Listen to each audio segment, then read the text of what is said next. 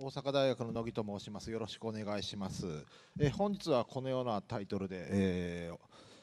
講演したいと思います。えー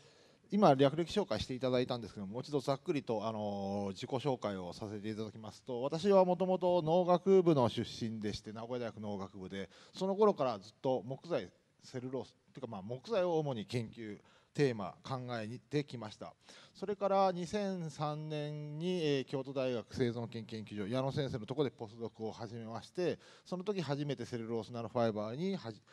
取り組むようになりそれで反対に移ってから電子デバイスというようなことをずっとやっております。電子デバイス関係のことをいろいろやってまいりまして去年の12月あそうだ。その前に一言言っとかないとと思ったのが、えーそうです。この富士市に関しましては34年ぐらい前にあのこのような研究があった時に読んでいただいてそれからいろいろ仲良くあの事務局の方にさせていただきまして今回もあの事務局の野毛さん平野さんにえーの講演会の挨拶とか来ていただいたりもっともっと言うとその先代のあの篠原さんとかにすごく昔からあのいろんなとこで会うと声かけていただいてでちょこちょこ富士市の方にもこういうイベントがあったらお邪魔させていただいてるんですけどもあの昨年12月にあった展示会あのどっか富士山メッセかなんかありますよね。あれ行った時も非常に驚いてもう富士市のアクティビティっていうのは非常に高いっていうのは知ってたんですけどもやっぱ情報収集できる面っていうのは本当すごくてあのいろんなところビッグサイトとか、まあ、カルメッセとかよく行ってナノファイバーのブースとか見て回るんですけども、まあ、東京行ってみるよりかはるかにセルロースナノファイバーの情報は富士市に来た方が捕まえられるなっていうのは去年の12月すごく思いました、まあ、そんなこともありまして今回もあのコロナですけど大丈夫ですかとかよく言われてたんだけどいや絶対行きますよっていうのは言ってまして、まあ、あの今後ともよろしくお願いしますという挨拶を最初にしようと思って忘れてました。で最近あの土に帰るセンサーデバイスっていうのをこういうような感じで文科省の展示ブースなんかで、えー展示させていただいたりして今日はこの話を最後に、えしようかと思ってるんですけども、えもっともっと最近のトピックとしましては非常に最近先週ぐらいなんですけども YouTube のチャンネル作りましてこんな感じで作ってます。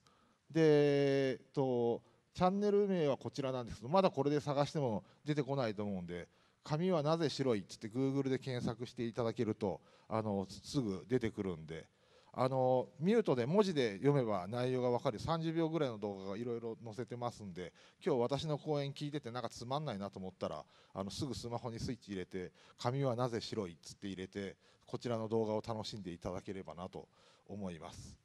で本日の内容としましてはざっとこんな感じで、紙セルロースの歴史デバイスの未来で、環境調和型センサーデバイスっていうの話をしたいと思います。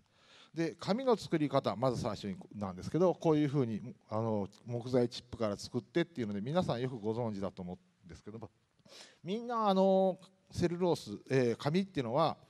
木材から作るっていうふうにずっとそれが当たり前もう本当当たり前ですよねになってるんですけども実は紙の歴史から考えると非常に最近のことなんですよっていうんでこれ年表的にざーっと時系列をざっとまとめてみるとこれが、えー一番昔がパピルスから作ったのが紙っていうのが一番昔ででこの矢印の先っぽが今日現在とすると紙の歴史におけるイベントっていうのは一番最初にパピルスができましたよと。それから随分ずっと時間が経って2000年ぐらい経ってで紀元、えーなんだ1世紀ぐらいに中国のサイリンさんが紙の発明をしましたよと。実はパピルスって紙じゃないんですよね。でここから紙の歴史が始まってずっとまた時間が経ってずっと時間がかかってでようやく12世紀ぐらいに、え紙の作り方っていうのがヨーロッパに、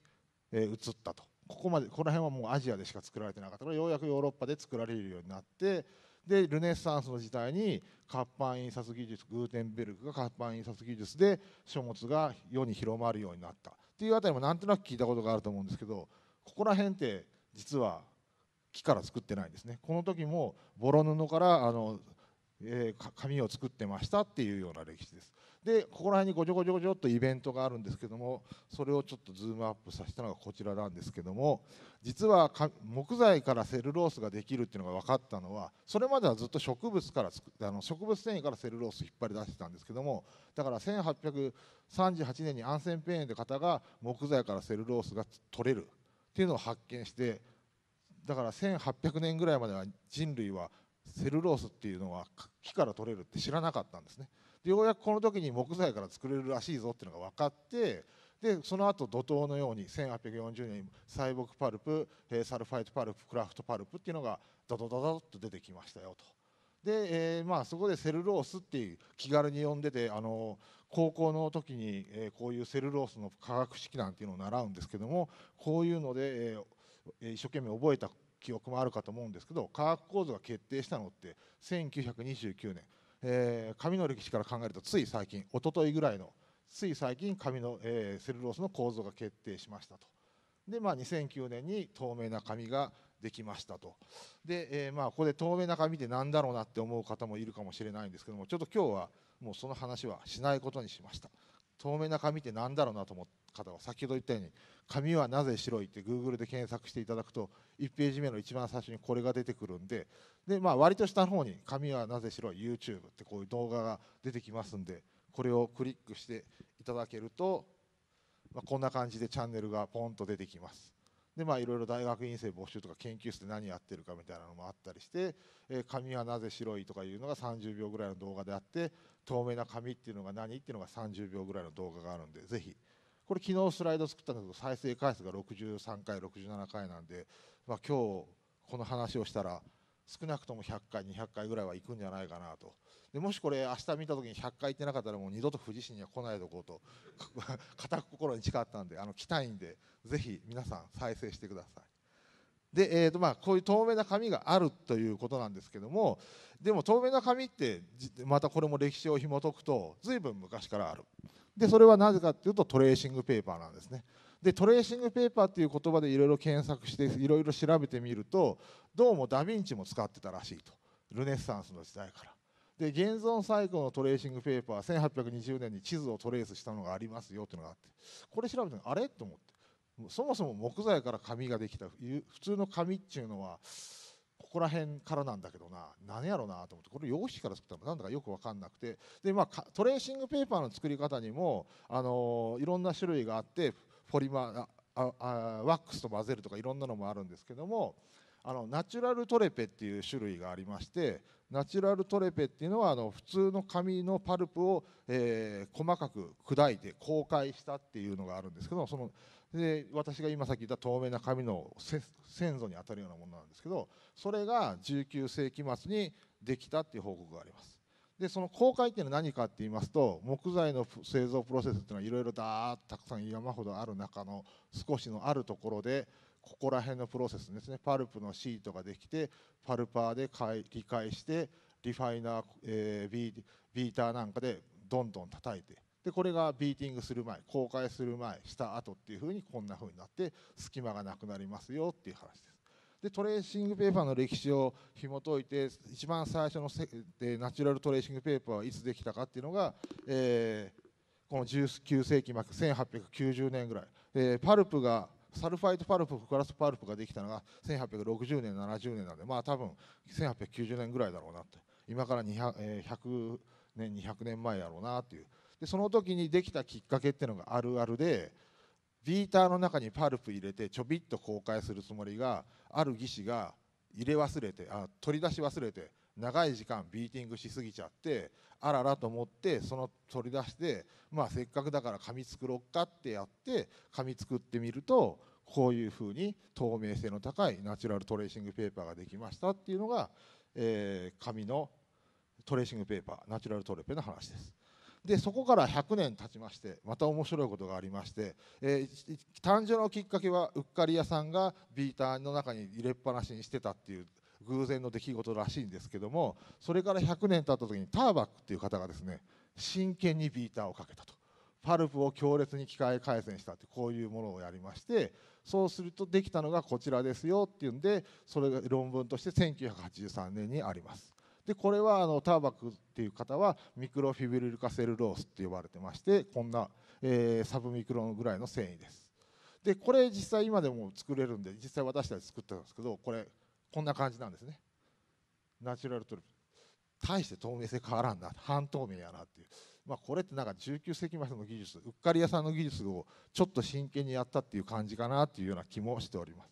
でこれに比べてここまで透明な紙ができる理由っていうのはこういうただ単にもうビーターで一生懸命頑張ったっていうんじゃなくてもっとあの大きなブレイクスルーがあって店舗酸化パルプとかホロセルロースパルプワイズ法なんかで作ったパルプを、え、回線処理するとすごく細いものができるようになったっていうのが2007年セルロースナノファイバーの誕生です。でこういう写真を見た時にああ太いのね細いのねっていう感じで直感的に皆さんなんとなく理解した気になるんですけどこれものすごいとてつもなくサイズの違いっていうのがありましてちょっとそれ理解してもらうためにこの3つの写真を同じ倍率でこれに関してはここら辺ですね。ここら辺をぐっとズームアップしたのがこちらなんですけどもこれがミクロフィブリル化セルロース何のこっちゃ分かんないですよね。だからもうこうやって同じ倍率で見てもらうと分かると思うんですけども透明な紙ができるホロセルロスパルプ木材、えー、 TEMPO酸化パルプっていうから作ったナノファイバーっていうのは圧倒的に細いです。で一生懸命機械解繊したやつだけとはもう全然世界が違う。でもっとこの2つが面白いことがありまして学問的学術的に非常に面白いところがありましてこのサイズ感っていうのはこの木材細胞壁中のセルロースミクロフィブリル束とほぼ同じ太さなんですよっていうこうなのが面白い。でこの写真いきなりこう言っても何のことかよくわからないと思うんで少しもう少しこちらの写真に補足説明させていただくとあさせていただきますとこちらですねこういうふうにあって紙の原料となるパルプ繊維がありますよと。でこのパルプ繊維を電子顕微鏡でズームアップしてみるとこれが1000倍ですね。で、えー、もう少しズームアップすると3000倍。特に何も見えないですよね。で1万倍。なんとなく何かが見えたかなっていう。で3万倍になるとこういうふうに1000以上の物質が見えてくると。で6万倍にするとこちら。先ほどの写真。木材が、えー、植物が細胞壁で作っているセルロースミクロフィブリルセルロースナノファイバーがこちらなんですね。でそれと全く同じ寸法のものを作れるのがホロセルロースパルプででこちら見て分かると思うんですがちょっと細いなっていうのが分かると思うんですね。でこの店舗酸化処理したものっていうのはここで、えー、細胞壁中でこれミクロフィセルロースミクロフィブリルっていうのが数本束になってるって言われてましてそれを本当に1本ずつまでバラバラにするようにした技術っていうのが店舗酸化パルプの技術です。っていうようなあたりでここら辺の植物学の世界とリンクするような、えー、ナノファイバーを作れるような技術ができましたと。ででここまでを少しまとめますとセルロースナノファイバーどこにあるかっていうと木の中にあると。で誰が作ってるかっていうとよくあの私たちはセルロースナノファイバーを作れましたとか言うんですけどいやいやいや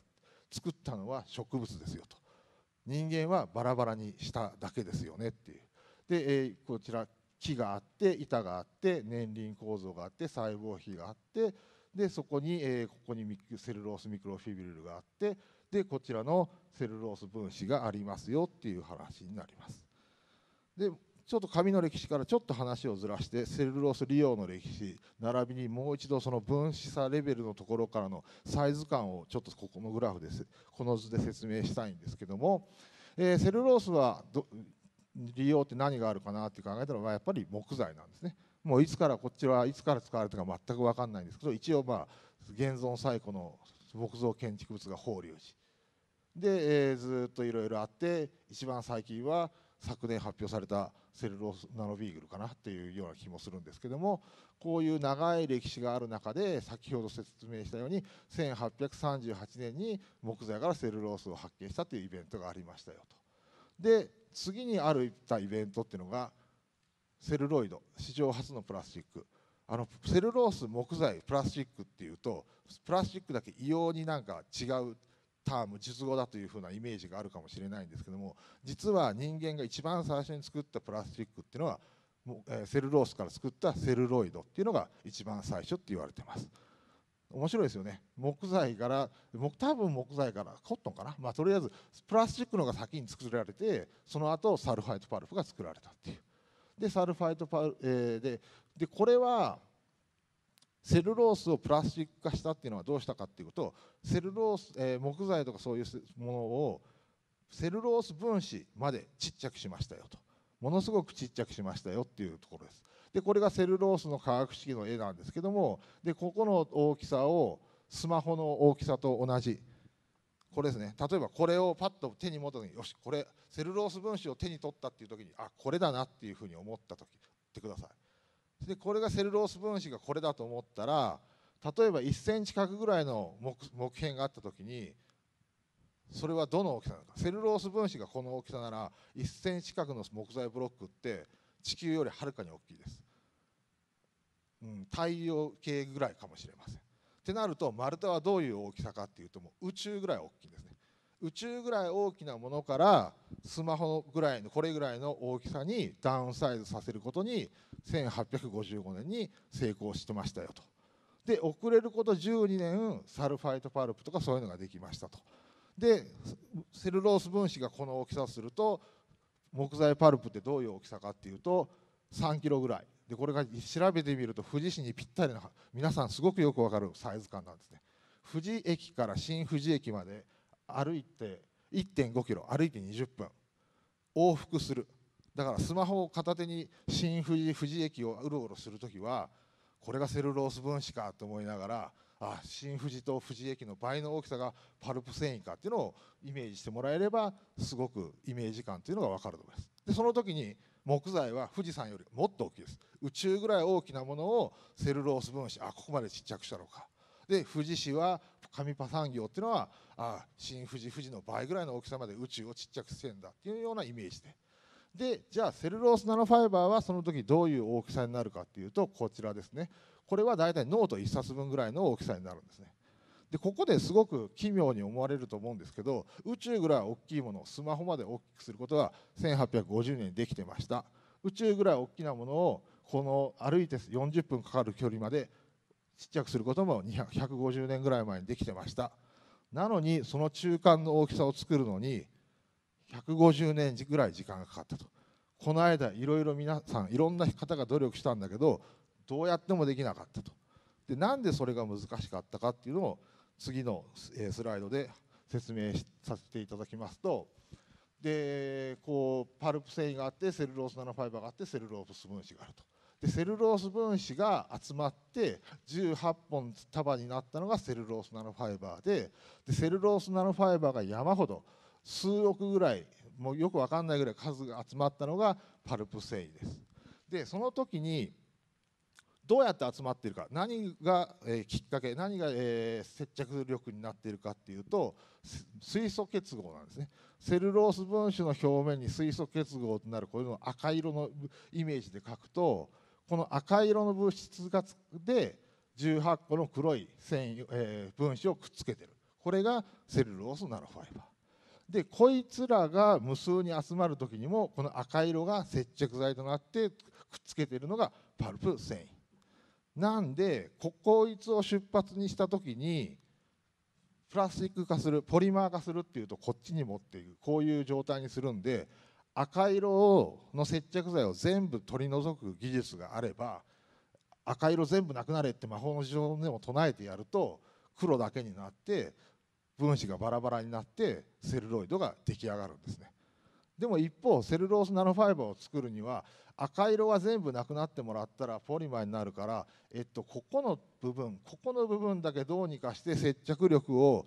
消失してくださいっていうふうに頼まなくちゃいけなくてこんなの大変ですよね。だからここが1850年ぐらいにはできてたんですけど21世紀になるまでできなかったっていうのはここが非常に難しくてでここら辺をうまくできコントロールできるようになった技術っていうのが店舗酸化処理のパルプであったりワイズ法であったホロセルロースのパルプであったりというでそこまで素晴らしい技術でセルロースナノファイバー単体を作ってやることができたらこういうような透明な紙も簡単に作れるトレーシングペーパーとは次元の違う透明性っていうのが出てくるようになりますと。でまあ紙の歴史を変えたって昔はるか4000年前ぐらいからまあ1000分の1ずつダウンサイズしていったら透明な紙ができましたっていうところででまあこう考えた時に電子デバイスの歴史も変えるって言ってるんですけどまあ4000年の歴史を変えたんなら電子デバイスでたかだか100年なんでまあ瞬時の話つい最近のことだから頑張りゃできるんじゃないかなと固く信じて、えー、やっておりますと。で電子デバイスにおいてこの透明な紙っていうのはどういう特徴があるかって言いますとこちらにその特徴の一部を、えー、てかバッと書いたんですけども透明性が高かったりとか、えー、耐薬品性があったり熱膨張熱膨張率がちっちゃいですよとかいう話もあるんですがあんまりそんなに重要じゃないですね。誘電率が高いとか絶縁性があるとか成分化性があるとかいろいろあるんですけどもやっぱり個人的にはこのこれですね、えー、表面平滑性がちっちゃい。で表面がデコボコしてない。えー、っていうのと耐熱性が高いっていうのと絶縁性が高い。この3つが非常に重要だと思います。なぜこの3つ挙げたかっていうとあのセルロースナノファイバーとかセルロースナノペーパーは、えー、熱膨張率がちっちゃいんだって皆さん言うんですけど実はですね白い紙も熱膨張率ちっちゃいんですよ。同じなんですよ。結構の方は測られてないんで皆さん知らないと思うんですけど全く変わらないですね。だから低熱膨張の材料なら普通の紙でよくてナノペーパーでが優位に立てるっていうのは紙と比べた時に表面が平らである。紙は凸凹しているし穴だらけなんでそこにちっちゃい部品を乗っけることっていうのが不可能なんですね。だからそう考えると表面平滑性が高いというのがいいのかなと。あとプラスチックと比較した時には、えー、デバイス作る時にプロセスにおいて熱かけるプロセスというのがたくさんあってその耐熱性っていうのが問題になっててプラスチックよりも耐熱性が高いんで、えー、こういう利用価値があるというところも有効かなと。あともう一個非常に大切なのは電気が流れないと。結構やっぱりあのね電人間誰もが電気流れる物質流れない物質って言ったら電気流れる物質のが好きなんですね。だからセルロースを電気流そうっていう研究もよくあるんですけど電気が流れるっていうのは忘れちゃいけないのは流れない部分があって流れる部分があるっていうのが大事なんですね。電子デバイス全部流れる電気が流れる材料で作ったら一切動作しないですね。流したいところだけ流す。ってことはその隣は絶対に流れないものが欲しいで流れる電気が流れる材料って言ったらもう金属っていうのがものすごい圧倒的な王者がいますんでまあ、セルロースがそこを目指すよりも、まあ、金属を電気が流れる金属をきちっとこう盛り上げるように私たちは周りできっちりと電気を流さない部分を作りますっていう高絶縁性っていうのは非常に重要になるかなっていうふうに思ってます。ちょっと時間がなかったでまあいろいろこんな感じでで、まあ、作ったアプリケーションとしてはアンテナ作ったり印刷配線作ったり透明導電膜作ったりこんないろんなようなものをちらほら作ってまいりました。で、えー、じゃあ、まあ、ここら辺はあれですねいろいろ作ったんですけど、まあ、既存にある電子デバイスを紙で作りました代替しましたっていうところでずっといろいろこういう研究してた時に痛感したのがもう代替材料なんて全く世の中に必要にされてないというのを痛感しました。紙でできたからだからどうしたっていうのが皆さんの本音なんだなっていうの。じゃあやっぱりこう紙で作ったからこそには何がいいことがあるのかっていうのを考えるにはまあ電子デバイスのもう現状の代替はもう諦めてその未来先の未来で何か勝てるものはないのかなっていうので未来は何が求められてるのかなと少し考えてみたりしました。で、まあ、情報記憶媒体とかそういうので今までどういうふうにこう歴史がなもう歴史を振り返れば未来も大体見えてくるだろうと思って歴史を振り返って見てみるとまあ、こう壁画があって石板があって粘土板があって用紙があって紙が出てきた。でこういうふうに情報を表示してきた。でも 20,、えー、20世紀になったらテレビが登場してでスマホタブレットが登場してでペーパーレスの社会が来るって言われると。で何が起きてるんだろうって考えた時にこの上の流れをずっと見ますとここのここの間は軽くて持ち運びしやすいものをひたすら人間は求めてるんだなと。でこちらを見ますと確かにテレビから持ち運べるようになって軽くて持ち運びしやすいもの。でよく電子デバイスとか物を作る時には信頼性耐久性が必要だっていうんですけども信頼性耐久性は二の次なんですね。ここからこう考えていった時に耐久性がある記憶媒体したら多分これなんですね。だけど耐久性なんかよりも持ち運びしたいっていう人間の欲求があるからこっちに動く。でこういうふうに動く。確かにブラウン管なんかよりもタブレットの方が早く壊れるのに持ち運びしやすいからタブレット買って壊れたって買い替えるそういう流れがずっとあると。でその次に何が起きてるかっていうとここで大量印刷マスプロダクションが起きてここまでは書物って貴族のものだったんですけどここで大量印刷するようになって広く広まったと。でその時に広く広まる時に用紙とかそういうものでは太刀打ちできないから植物繊維っていうのでで、えーになった紙が生き残ったっていうのがあるんですね。でここでそうなるとまたマスプロダクションっていうのが起きるんだろう。で確かにこれでこの絵を描いたのはトリリオンセンサーありとあらゆるところにセンシングデバイスをばらまいて置いていく社会が出てくるとでそういうマスプロダクションに対応できる材料っていうのは何かって考えた時にはやっぱりプラスチック、えー、石油由来のものよりも限りのある石油のものよりも限りのないリサイクルできる植物の方が優位に立てるんじゃないかなというふうに考えてます。で、えー、フレ電子えー、あれですねその先ほど言ったセンシングデバイスというのはどうなるかっていうと、まあ、こんな感じで、えー、どんどん発達しますよ。市場が大きくなりますよっていうのはよく言われてます。ででも多くの方が皆さんこれプラスチックの基板の上に物を部品を乗っけていって、えー、センシングデバイスを作ろうっていう流れになっております。でそれでそういう流れもあるんですけども他にもまだ少しあの電子機器をめぐる未来っていうのは流れっていうのはありましてそれは環境物質の使用規制の流れっていうのがあるんじゃないかなと思います。でまず最初に、えー、起きた規制っていうのが2006年にローズ指令で電子デバイスローズ指令はもう電子デバイスだけですね最初に鉛水銀なんかの使用を禁止しますよっていうんで化学物質の安全評価を義務付けられてでそれで例えばハンダなんかは鉛フリーハンダになったりとか蛍光灯は LED になったりっていうふうにどんどんこう環境に悪い物質っていうのは使わないようにしようっていうのが2006年にありましてそれからすぐ1年後にあの電子デバイス以外にも全ての材料物質っていうのを化学物質に、えー、安全評価のの義務付けられたっていうリーチ規制っていうのがあって多分リーチ規制に関連してナノセルロースなんかも安全性評価なんかもされてるんじゃないかなと思います。でもこういう流れっていうのはもう環境に悪い物質を使えないように締め出すっていう流れっていうのはもうこれは間違いなく止まらない流れだと思います。でもっと先の未来を見るともう今現実に変わりつつ未来起きる未来っていうのはこれですね。あのークラウド空間とフィジカル空間がネットワーク情報ネットワーク AI によって結びつけられていくっていうセンシングいろんなところにセンシングがあってビッグデータをやって AI で処理してそれをフィードバックするっていうクラウドとフィジカルをリンクしていくっていう流れも間違いなくあると。でそういうふうに考えますと次世代センサーデバイスには何が必要になるかっていうとまず、えー、情報を感知するセンシングするフィジカルの空間を認識する機能っていうのが必要でしょうと。でそれをクラウド空間に飛ばすための情報を発信する技術っていうのも必要でしょうと。で先ほど言ったリーチ規制とかそういうようなローズ指令みたいなものもありまして低低環境負荷の材料を使わないっていうのも必要でしょうと。であともう1個、えー、使用後に回収不要っていう、えー、放置しても無害であるっていうものも間違いなく必要でしょうと。えー、例えばあのプラスチックですね。もう7月からレジ袋が有料化になったのは海洋プラスチックの問題で皆さんがゴミ箱に捨てたらいいんですよ。ゴミ箱に捨てればでみんな捨ててますかっていうとはい私は捨ててますってみんな言うんですけどもこっそり俺1枚ぐらいいいだろうっつってポイ捨てしちゃうんですね。ってなるとそれが海に行ってでそれで海洋プラスチックでレジ袋が有料になるという非常に不都合なっていうかまあ面倒くさい社会になってしまうと。皆さんがちゃんと回収すればいいんですけどそれは建前だってできない。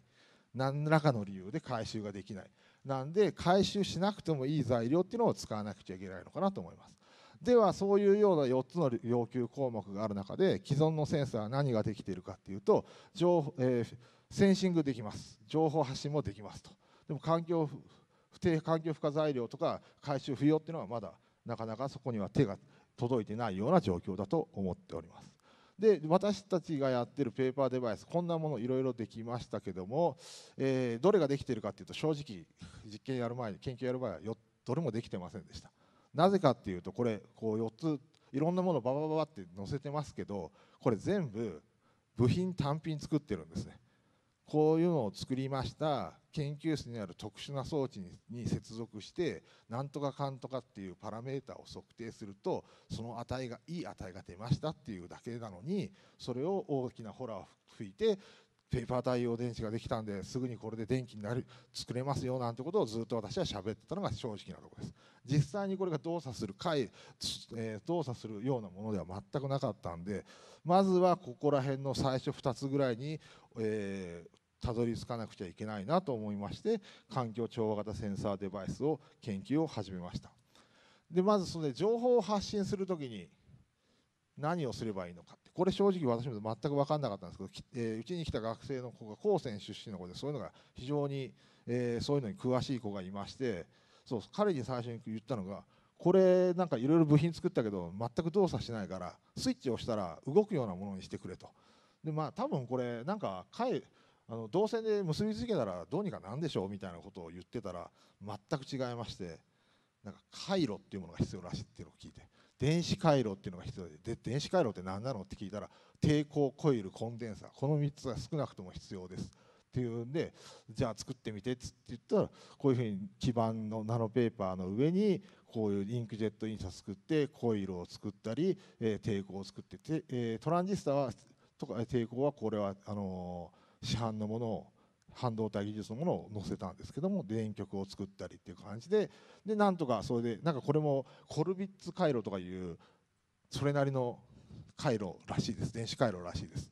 でこういうものができましたよっていうんでであとで抵抗とコイルができてあじゃあコンデンサーが作んなきゃいけないねっていう話になっててでコンデンサーっていうもの自体は電極があって絶縁層があって電極があるっていう積層コンデンサーっていうものがありましてじゃあ電極があってその真ん中に絶縁層なら絶縁層つならばセルロースぴったりじゃないっていうことで電極を用意してその上にセルロースナノファイバーの液を塗って乾かしてさらに電極を作ってっていう積層コンデンサーを作りました。でこんな感じでできましたよと。でででここの真ん中の層ですね。この絶縁層の部分をポリイミドやフェットフィルムなんかで作った時のコンデンサーの性能っていうのはここら辺だったんです。でもナノペーパーを絶縁層にしてやると絶縁性が非常に高い材料なのではるかに3倍ぐらい、えー、性能のいいコンデンサーっていうのができましたよっていうのがここまでの成果です。でその次に、えー、あれですね。センシングしなきゃいけない。センシング周りのものをセンシングしなくちゃいけない。でここで回路ができたんでなんとかセンサーっていうのをここに乗っけてやるとセンシングっていうのができてセンサーデバイスの出来上がりなんですね。だけどその時に一つ面白いことに気が付いたのがこちらの話でして先ほどペットポリイミドなんかを使ったコンデンサー作りました性能がいいですよって言ったんですけどもう一つ面白い性能があってペットやポリミドなんかを使ったコンデンサーっていうのは周りの雰囲気の湿度が変わらな変わってもコンデンサー性能は一切変わりませんよと。でもナノペーパーを使うとこういうふうにコンデンサー性能が大きく変わりますと。でこれは今まで従来は紙で作った材料っていうのは湿度が変わると性能が変わるから扱いにくいから規格的には無理ですよっていう風で話は終わったんですけどもよくよく考えたらこれ湿度が変わった時に性能がパフォーマンスが変わるってことはこれセンサーじゃないかと。でここの湿度が変わる時に静電容量が刻々と変化するっていう様子を利用してでこちらでワイヤレスでセンシングした結果なんですけども、えー、白丸が市販の湿度センサーの結果です。で湿度センサーで昼から夜,、えー、夜朝にかけて湿度が上がっていく様子ができてで私たちが作ったペーパーデバイスセンサーも同じように全く同じセンシングですよと。セルロースナノファイバーが吸湿するこの吸湿っていうのはデバイスとってよろしくないって言われたんですけど吸湿するからこそ湿度センサーに進化することができましたというところです。でこういうところで4つの情報、えー、必要な情報が、えー、要求特性があって発信するとか雰囲気を感知するっていうのもできましてで、えー、作ったものっていうのが、えー、紙と、えー、で金属とで、え、トランジスタが半導体。なんでそういう石ころと紙と石ころと金属だけを使ったっていう石油系のものは一切使ってないっていうので低環境負荷材料を使ってますよっていうところです。で最後のもう一つの要求特性の使用後に回収不要っていうのはこちらになりましてこれですね。木からナノペーパーを作りましたよと。でそれの上に電子回路を使ってコンデンサー何かも作ってセンシングデバイスを作りましたよと。でこいつを土の中に入れてやると10日経つとこう20日経つとこう40日経つとほとんどが分解しますよと。そうするとこれは分解してもう一度木に戻りその木がまたナノペーパーになりセンサーになりまたぐるっと戻ってっていうこういうふうにリサイクル、えー、循環型のセンシングデバイスっていうものを作ることができました。というところです。で、えー、ここまでを、えー、もう一度振り返りますとまとめとして振り返りますと、えー、ナノセルロース、え、セルロース利用の歴史っていうのはもう古くから木材としてを利用してましたよとで、え、意外に、え、つい最近のことなんですけども1855年、え、そうですね史上初のプラスチックっていうのはセルロイドから作られましたよとそれから遅れること12年経った時に木材線、え、紙の原料であるパルプっていうのが作られるようになりましたよと。で最近はセル車もできてますよと。でここで一番伝えたかったのはサイズ感の話ですね。セルロース木材をポリマーまでするセルロース分子科学の教科書に載ってるセルロースにするっていう時にそれをスマホ1個分とするとパルプ繊維っていうのは富士駅と新富士駅の大きさぐらいのはるかに大きなものですよと。でそれに比べてセルロースナノファイバーっていうのは、えー、ノート1冊分ぐらいの大きさでそこまでコントロールするっていうのは非常に難しいところでしたよと。でこれはあこれはいいや。でで紙の歴史をもう一回いくと4000年前にパピルス。これは植物の茎ですね。茎をそのまま使ってまして今の定義でいうとどちらかと布のようなもの。でこれを植物の茎を1回バラバラにして再構成したっていうのが1回バラバラに再構成するっていうのが紙の定義なんでそれがこの、2000年前に中国で発明されてずっとこう植物繊維で作られてたんですねずっと植物繊維で作られてて活版印刷技術の頃もまだ植物繊維で草ですね草で作られてて木はいつまでたっても登場してなかったと。だけど、えー、1838年にようやく200年ぐらい前に木材からセルロースができるらしいっていうのが分かってきて、えー、それでで透明な紙っていうのができるようになりましたよと。でセルロースナノファイバー透明の紙みたいなところで言うと、えー、トレー透明な紙の祖先になるのがトレーシングペーパーっていうのがあってでそれはもう100年ぐらい前にナチュラルトレペっていうジャンルの中のもので木材パルプを機械的に処理しすぎちゃったっていうのが100年前にありますよと。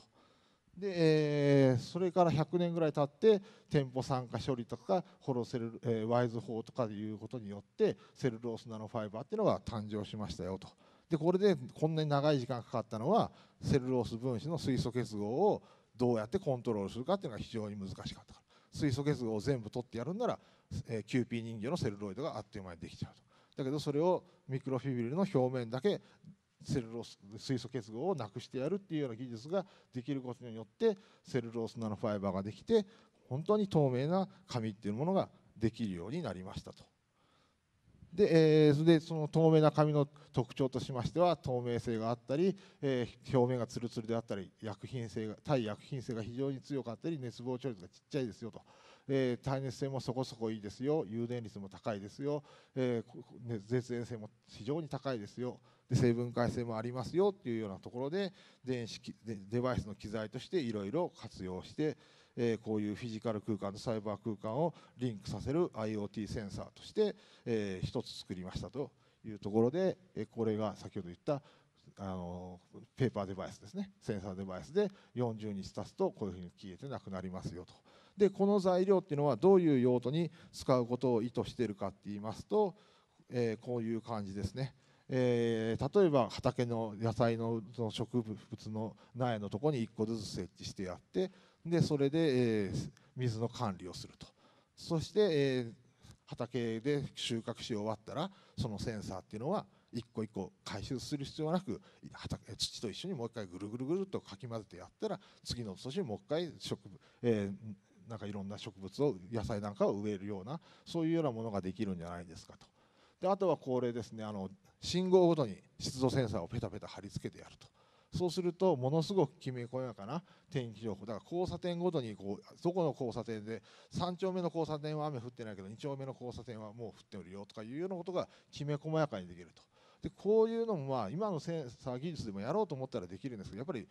回収不要なんできめ細やかにできるっていうのがメリットじゃないかと。ものすごい勢いできめ細やかに貼っていったら今のセンサーは間違いなく1個ずつ回収しなくちゃいけないんですね。でこういうリアルタイムな高精度な災害情報で非常に山奥の方で土砂崩れが起きるかもしれないってところで一生懸命誰かがセンサーを置きに行った。でそれで5年とか経った時にあのセンサーもう使えないからって回収しに行かなきゃいけないよって言ったらまたそれ回収しに行くのって。もうあんな山奥行けないよっていうような答えが返ってくると思うんですね。でもこれだったらああのセンサーもう動いてないねって。まあでもそのまま土に帰るからそのままほっときゃいいんじゃないっていうような感じでそういうきめ細やかに場所なんかを選ばずにセンシングできるようなものができるんじゃないかなと思っております。で時間に参りましたので最後もう一度お忘れなくこちらあの YouTube チャンネル作ったんでぜひたくさんあの200回ぐらい1人1人10回ぐらいは再生いただくと軽く200回はいくと思うんであのネットで見られてるライブ視聴されてる方もぜひあの試してみてください。はい以上で発表終わります。ご清聴ありがとうございました。